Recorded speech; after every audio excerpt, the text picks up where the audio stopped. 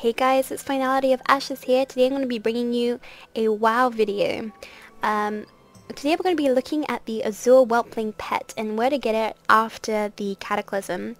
When the Cataclysm struck, it drove out all the blue dragonflight in Azshara, which was originally where you used to farm for the Azure Whelpling pet.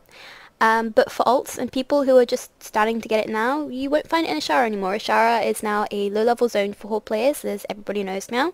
And the drop for the Azure Whelpling pet has been moved to Winterspring. It is a zone-wide drop and it can drop off any mob in Winterspring. So I'm going to be showing you a few places where you can farm for this. One of the places you can farm for it, a lot of people have been farming for it um, in this um, in this area here where all the Furbolg are because they kind of um, want to kill two birds with one stone, so to speak, so they get the, the uh, Furbolg reputation as well when they kill all these mobs.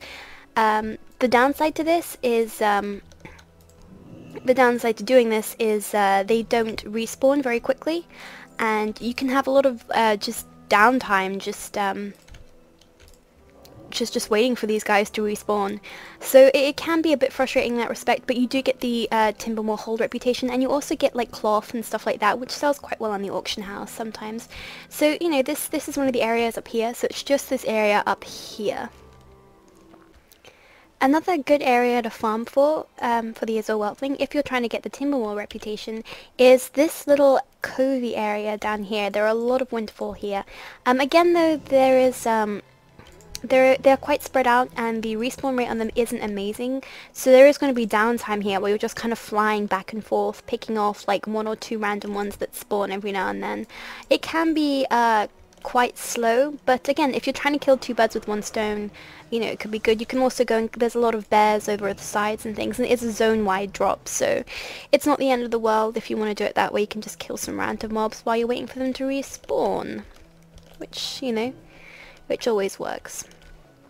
The last best place to farm for the mat if you want the uh, Winterfall, the Mohold even, reputation, is this area right here, just right of Everlook. Um, this area is full of them.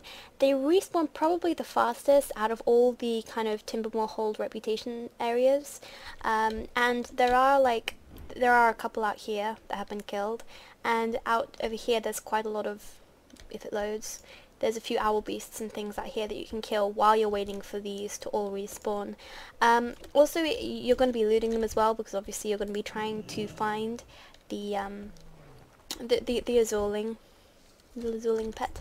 And you'll get a few greens and stuff which you can sell in the auction house quite nicely. So you know it's not it's not all bad.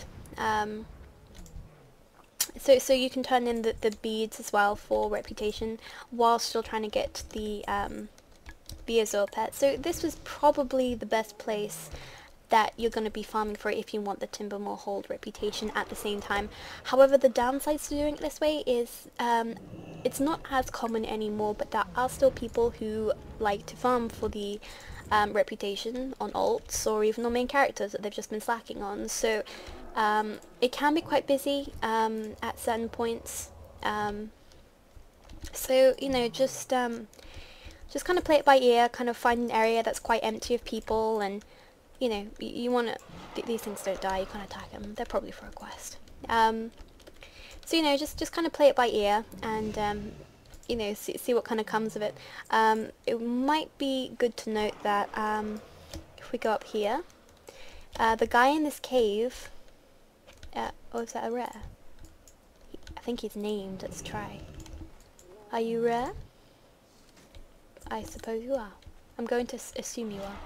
Um, if we go in this cave over here, this big guy who never used to be in there before, um, he has quite a high chance of dropping the pet. Um, but it's like, it's just him um, out of all of them.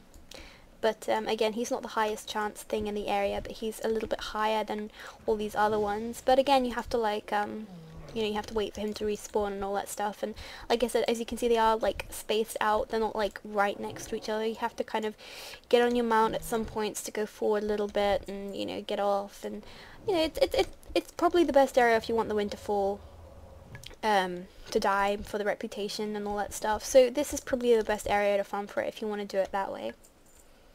Don't forget as well that when you clear this entire area out up here, if you go along to the mountain on the right here, there will also be some um, Ursas up here and some shamans and stuff that you can kill for extra reputation and things.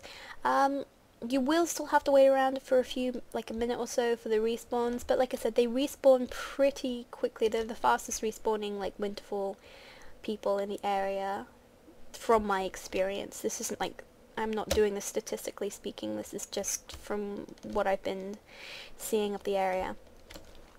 So now we're going to go to the last part um, and see where I personally think is best to farm for the pet exclusively. A short journey away from Everlook and we are at the Lake Kel'Theril. Kel'Theril.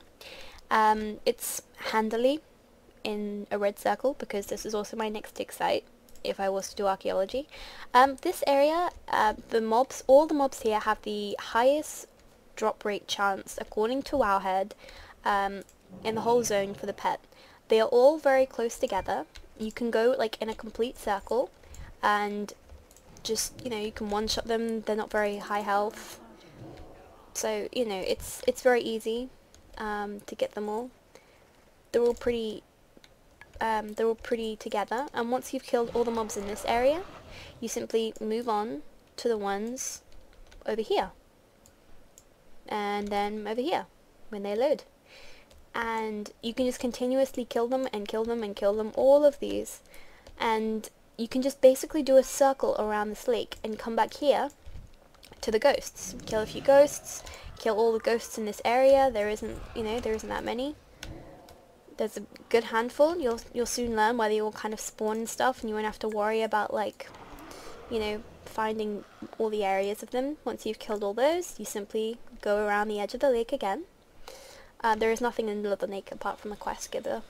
Um, for a chain quest, and you're back to the rangers again. And the rangers by then, after you've killed all that, will all have respawned. So it's a constant circle, and you don't have to stop or wait or go off anywhere else to try and and, and get things or go to new places because the respawn rate is too low. You can continuously do a circle around here and continuously have mobs feeding at you that have the highest drop rate chance, according to Wowhead, for the Azure Whelpling pet. Um, I hope this guide has been good for you and I hope that you guys find it. Um, in total, so far I've spent about four hours in real life time trying to get it. I've just been circling around this lake, killing the same mobs again and again. Put some music on, get the TV going, do something in the background to kind of try and keep you focused. It can be a little tedious.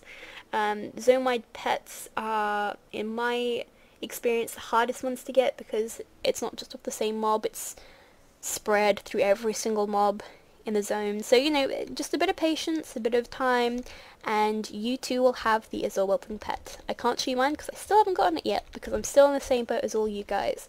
So, good luck and happy farming!